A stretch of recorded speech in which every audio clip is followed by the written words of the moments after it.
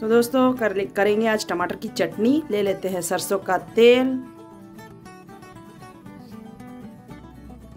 लेंगे सरसों और खड़ी लाल मिर्च। ज़्यादा लेंगे खड़ी मिर्च, क्योंकि झाल झाल और खट्टा मीठा बनेगा। तीखा बनेगा थोड़ा सा। इसमें डालेंगे कटा हुआ प्याज। अब इसमें हम डाल देंगे टमाटर कटा हुआ।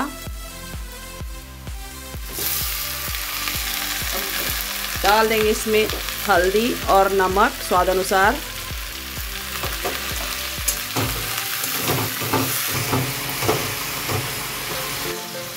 डालेंगे हरी मिर्च, चार पाँच, और मीडियम फ्लेम में इसको ढककर पका लेंगे।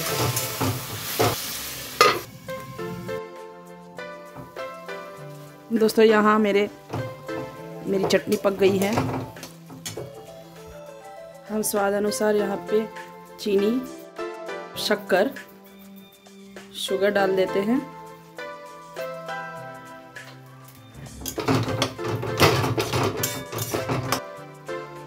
अब हम इसमें धनिया पत्ता डाल देंगे।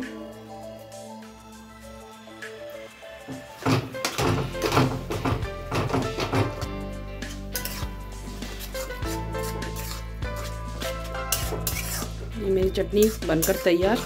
उतार लेंगे अभी। गैस कर देते हैं बंद।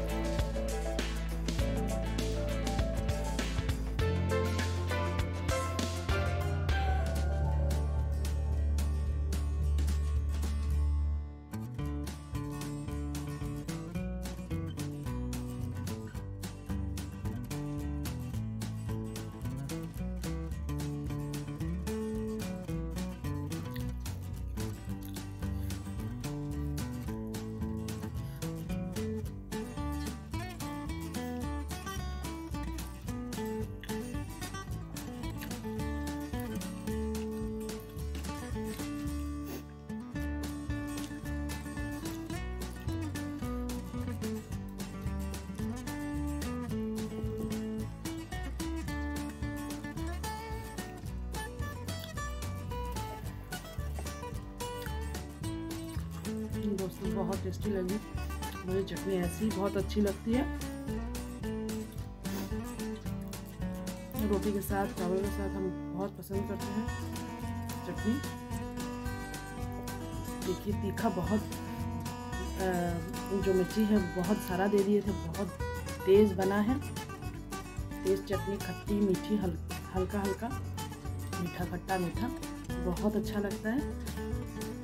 तो अगर आप लोग भी बनाना चाहते हैं तो इस तरह से बनाकर ट्राई कर सकते हैं।